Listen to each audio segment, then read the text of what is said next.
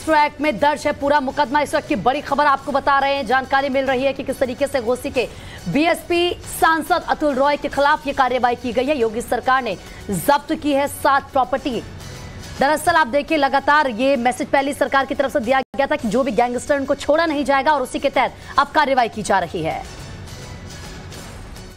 उत्तर प्रदेश सरकार द्वारा अपराध और अपराधियों के विरुद्ध नियंत्रण और बेनामी संपत्ति जो उन्होंने अर्जित की है, उसको कुर्क करने के तहत जो लंबे समय से अभियान चल रहा है, उसी के क्रम में आज अतुल सिंह उर्फ़ अतुल राय की जो बेनामी संपत्ति अर्जित की गई है, उसके खिलाफ कार्रवाई चल रही है, जिसमें चौदह, सात गाँव से टोटल रकबा सात मोजे हैं। One point four one eight hectare रकबा है।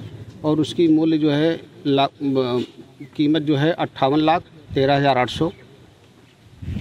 धारा धारा चौदह एक के तहत पुलिस कमिश्नर के न्यायालय से आदेश जारी हुआ। उसी के क्रम में आज पुलिस और राजस्व विभाग की संयुक्त टीम आज वाराणसी कमिश्नरेट पुलिस की टीम के द्वारा जनपद गाजीपुर में थाना भावरकोल अंतर्गत ग्राम वीरपुर में माफिया सांसद अतुल राय इनकी जो संपत्तियाँ हैं उन संपत्तियों का जब्तीकरण की कार्रवाई, गाजीपुर के राजस्व अधिकारियों की टीम, गाजीपुर के पुलिस अधिकारियों की टीम और वाराणसी कमिश्नरेट पुलिस की टीम के द्वारा संयुक्त रूप से ऑपरेशन चलाकर किया गया है।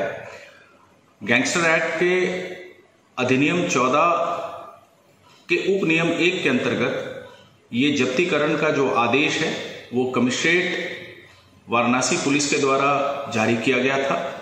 उसका एग्जीक्यूशन आज गाजीपुर जनपद में जाकर टीम के द्वारा किया जा रहा है और इससे माफिया तत्वों में और विशेषकर ऐसे आपराधिक तत्व जो कानून का उपहास करते हैं, उनमें एक स्ट्रांग मैसेज जाएगा।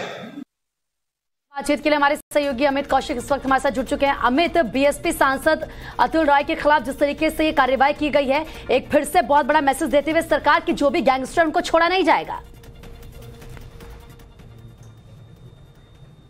कार्रवाई चल रही है। इसी क्रम में गोशी के सांसद हैं अतुल राम के खिलाफ गैंगस्टर एक्ट के तहत कार्रवाई करते हुए उनकी कुल सात प्रॉपर्टियों को जब्त किया, जिसकी कीमत अट्ठावन लाख बताई जा रही है और उसे खुद कर दिया गया। अतुल राय के खिलाफ गैंगस्टर एक्ट के तहत भोजपुर थाने में भी मामला दर्ज है।